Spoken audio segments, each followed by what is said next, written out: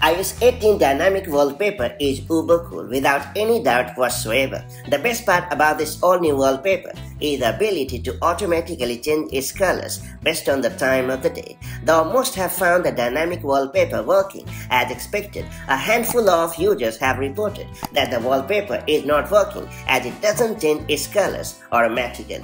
If you've also found it ill functioning on your iPhone, I have got you fully covered with quick fixes. That said, let's get started. First off, I will recommend you to ensure that you have allowed the dynamic wallpaper to change its colors automatically on your iPhone. To do so, bring up the lock screen by pressing the side button of your iPhone.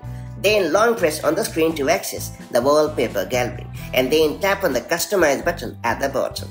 Then you have to choose the lock screen option. After that, tap on the appearance icon and then make sure that the automatic option is selected in the menu. After that, you have to restart your iPhone. And once your iPhone has rebooted, check if the dynamic wallpaper has started to work as usual. Next up, I would recommend you to make sure that the location services is enabled on your iPhone. If location services is disabled on your iPhone, it might be causing the problem. Therefore, allowing the dynamic wallpaper to access your location data may help you fix the problem. To do so, open the settings app on your iPhone. Now scroll down a bit and choose privacy and security. Then select location services and turn it on. After that, I would suggest you to disable the low power mode on your iPhone. When activated low power mode not only throttles background activities but also tends to disable power hungry features in order to save as much battery as possible on your iPhone. So if this power saving mode is enabled on your iPhone, I suspect that it is creating trouble for the dynamic wallpaper on your iPhone. To disable the low power mode on your iPhone, open the settings app. Then select battery and after that you have to turn off the toggle next to low power mode.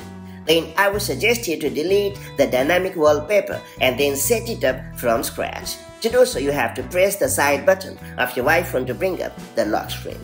After that you have to long press on the screen and then you have to swipe up on the wallpaper and then you have to hit the delete button and confirm the action. Then you have to tap on the plus button and after that you have to scroll down to find the iOS 18 section and choose a dynamic wallpaper and set it up.